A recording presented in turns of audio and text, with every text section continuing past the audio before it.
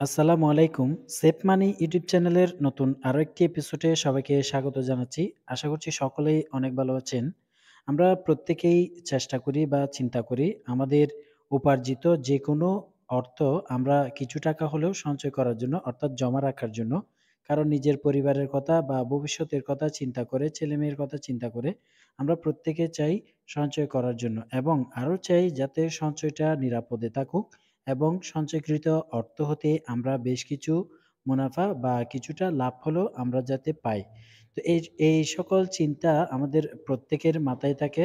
তো যদি সেই সঞ্চয়টা অনিরাপদ হয় বা ভুল পথে যদি আপনারা সঞ্চয় করেন, তাহলে অবশ্যই কিন্তু ক্ষতি হওয়ার সম্ভাবনা থাকে। কারণ আপনার অনেক কষ্টে উপার্জিত অর্থ অবশ্যই আপনি বুঝে শুনে সঞ্চয় করবেন।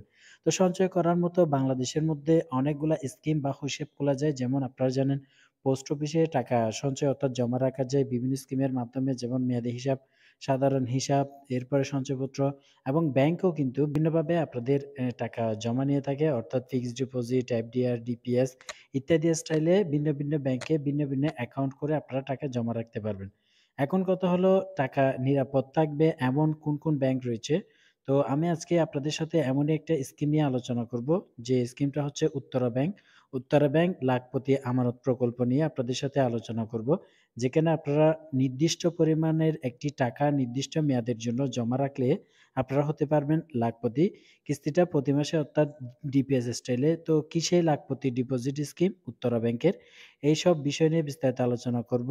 উত্তরা ব্যাংকের লাখপতি ডিপোজিট স্কিমটা কারা খুলতে পারবেন? কি, কি ডকুমেন্টস দিতে হবে?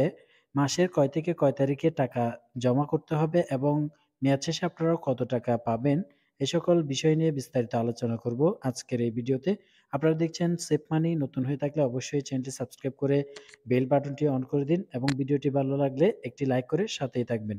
তো চলুন ভিডিওটা শুরু করা যাক। তো উত্তরা ব্যাংকের লাখপতি আমানত প্রকল্প হলো, যেখানে আপনি আপনার টাকা সম্পূর্ণ আত্মবিশ্বাসের সাথে কিস্তিতে জমা করতে পারবেন। এটি একটি অ্যাকাউন্ট দর্জি যা আপনাকে বিভিন্ন মেয়াদের জন্য খুব ভালো রিটার্ন প্রদান করবে। এটি আপনার জন্য ক্লাসিক একটি পছন্দের অ্যাকাউন্ট হতে পারে। আপনি এখানে একক এবং যৌথ নামে টাকা জমা করতে পারবেন। আপনার কাছে থাকলে সেরা নিয়মিত সঞ্চয়ের ইচ্ছা থাকলে আপনারা এই অ্যাকাউন্ট করতে পারেন। আপনার অর্থে সর্বোচ্চ নিরাপত্তা প্রদান করছে উত্তরা ব্যাংক লাভপতি আমানত প্রকল্প। এই ব্যাংকের বৈশিষ্ট্যগুলো বলে দিয়ে একটু। এই ব্যাংকে একাধিক অ্যাকাউন্ট খোলা যাবে।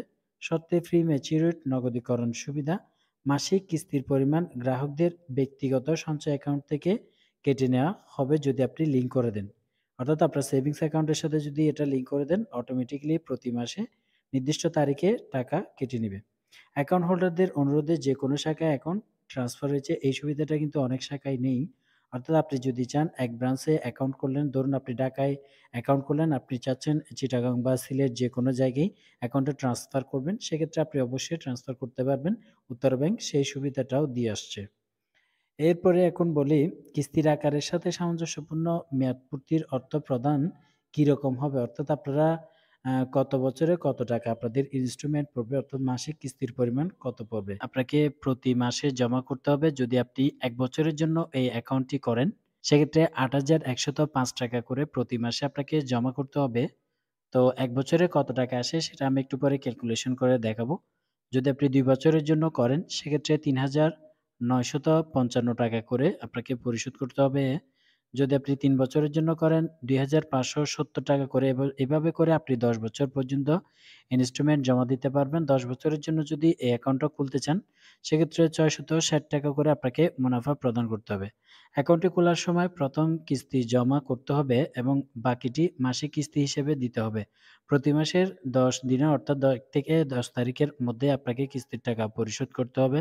যদি কিস্তির টাকা পরিমাণ বা ন্যূনতম টাকা প্রতি মাসে জমা দিতে ব্যর্থ হন, ১% দণ্ডিত সুদ, অর্থাৎ ১% আপনাকে জরিমানা প্রদান করতে হবে। সেক্ষেত্রে আ ৳৫০ পড়তে পারে। কোনো মাসের ১০ তারিখ ছুটির দিন অ্যাকাউন্ট হোল্ডার জরিমানা ছাড়াই পরবর্তী কার্য দিবসে জমা করবেন। অগ্রিম কিস্তি অনুমোদিত হতে পারে। অবশ্যই অগ্রিম কিস্তি পরিশোধ করতে পারবেন। তো অ্যাকাউন্ট বলি, এই অ্যাকাউন্টটা কারা খুলতে পারবেন? এই অ্যাকাউন্টটা খোলার যোগ্যতা ১৮ বছর হতে হবে। বাংলাদেশের যেকোনো নাগরিক আপনারা উত্তর ব্যাংকের লাখপতি ডিপোজিট স্কিম অ্যাকাউন্টটি চালু করতে পারবেন। প্রয়োজনীয় কাগজপত্র হচ্ছে পাসপোর্ট সাইজের দুই কপি ছবি লাগবে, এনআইডি, পাসপোর্ট বা ড্রাইভিং লাইসেন্সের যে কোনো একটি ফটোকপি দিতে হবে। অ্যাকাউন্ট খোলার জন্য আবেদন ফর্ম সব শাখায় উপলব্ধ রয়েছে। আপনারা অ্যাকাউন্ট খোলার ফর্ম নিতে পারবেন অথবা আপনারা অফিসারকে বললে ওনারা অ্যাকাউন্ট ফর্মটা পূরণ করে দিবে। তো বলে রাখি এই অ্যাকাউন্টের পারপাসে অর্থাৎ এই অ্যাকাউন্টের মাধ্যমে আপনারা আরও বেশ কিছু সুবিধা পাচ্ছেন। সেটা হলো ৩৬ মাস পর্যন্ত মোট জমাকৃত পরিমাণের ৮০% এবং ৩৬ মাসের উপরে মোট জমাকৃত পরিমাণের ৯০% আপনাদেরকে ঋণ প্রদান করবে। অর্থাৎ আপনারা এই লাখপতি ডিপোজিট স্কিমে যে টাকাটা জমা করবেন, সেই টাকা যদি ৩৬ মাস পর্যন্ত চালান সেক্ষেত্রে ৮০% ঋণ পাবেন এবং ৩৬ মাসের উপরে গেলে ৯০% ঋণ সুবিধা অর্থাৎ যেটাকে আমরা বলি কিস্তি আ আর কি ওই সুবিধাটা আপনারা কিন্তু উত্তরা ব্যাংকের লাখপতি ডিপোজিট স্কিমে পেয়ে যাবেন। তো এখন ক্যালকুলেশনটা আপনারা কীভাবে করবেন? ক্যালকুলেশনটা আপনারা যদি ধরুন এক বছরের হিসাবটা বের করতে চান, আমি আপনাদেরকে দেখাই। এক বছরের হিসাবটা হলো ৳৮,১০৫ করে যদি আপনারা এক বছর জমা দেন ৮,১০৫ ইন্টু বারো তাহলে আপনার ১২ মাসে জমা হচ্ছে ৳৯৭,২৬০ এই স্কিমে পার্সেন্টেজটা উল্লেখ করা নেই সেজন্য দুঃখিত। পরবর্তীতে আমি যদি জানতে পারি আপনাদেরকে অবশ্যই কমেন্টে জানিয়ে দিব।